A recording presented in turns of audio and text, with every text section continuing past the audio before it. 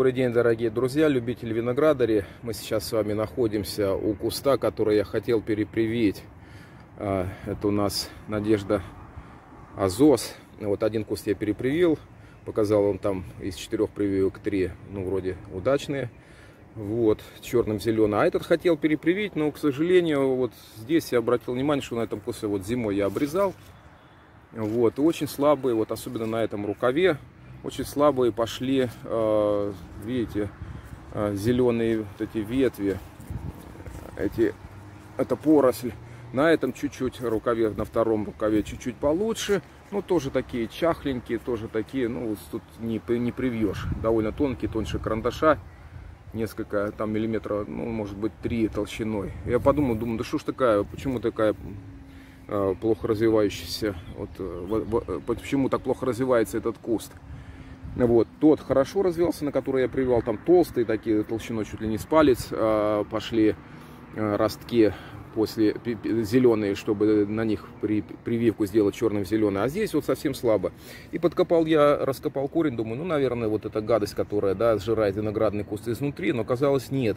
Здесь другая проблема, здесь такая проблематика у нас тоже вот, есть какие-то, я не знаю, тут э, землеройки, мыши или что, которые вот окольцовывают, э, прогрызают прямо вокруг или вот или почти вокруг, вот, на, на глубину виноград, вот, вот штамбы, да, и вот там вот видите, вот палец заходит, вот, ну, не знаю, видно будет, думаю, видно, вот, кто-то вот старается, это уже, конечно, не насекомое, это то ли мышь, то ли э, землеройка какая-то, что тут, я не знаю. И вот, вот с этой стороны вот окольцевали, да, половина. Ну и, соответственно, вот эта сторона, вот этот, э, вот этот рукав, вот такие слабые, слабые ростки дал, на которые невозможно ничего не привить, не сделать какую-то прививку. Вот. А, второе, вот, второй вот этот рукав, там а, не окольцовано, не прогрызено с той стороны, вот только с этой стороны. И вот получается, что вот больше питательных веществ поступает, ну тоже слабенько, конечно, но все-таки хоть более-менее как-то что-то да есть. И вы знаете, вот эта проблема тоже у нас существует. Какой-то, я не знаю, зверек подгрызает, окольцовывает. У меня так погиб куст а, пришлось выкорчевать куст э, Аркадии. Большой, хорошо давал плоды.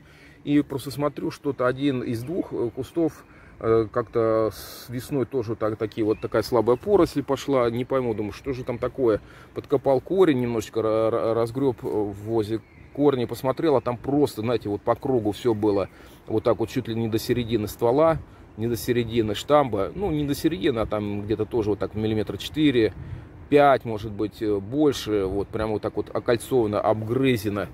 Кто это делает, не знаю, какое-то вот э, животное. И пришлось большой, хороший, хорошо плодоносящий куст выкопать. И там, знаете, как интересно, там Аркадия начала развивать э, этот куст мочковатые корни прямо мочалка такая была сверху вот этого надгрыза, там земля была, там, ну, э, э, сухую траву бросал, как бы решил, думаю, холмик сделаю, и вот она пустила, пустила сверху этого надгрыза, да, вот такую мочковатую корневую систему. Ну, что это мочковатая корневая система? Должна быть основная, вот, вот эти основные корни, а они как бы оказались внизу в зоне Э, повреждения, и, ну, соответственно, пришлось куст этот Аркадий выкопать и выбросить. Ну, этот куст, наверное, тоже пойдет на, под выкорчевку, не знаю, или, может быть, обрезать, как-то в голову там попробовать что-то, куста, сделать какую-то прививку. Но, скорее всего, ничего из этого уже хорошего не получится. Вот видите, какая взаимосвязь между повреждением коры, да, и самого штамба вот там внизу, и, соответственно, вот такие чахлые, дохленькие Э, росточки, вот там, где чуть-чуть получше, но тоже какой-то больнючий цвет неприятный. Вот так что надо тоже бороться и с какими-то этими землеройками, с этими мышами. Зайцев тут нету, но есть свои какие-то вредители, которые не только кору обгрызают, но вот и вредят штамбы винограда.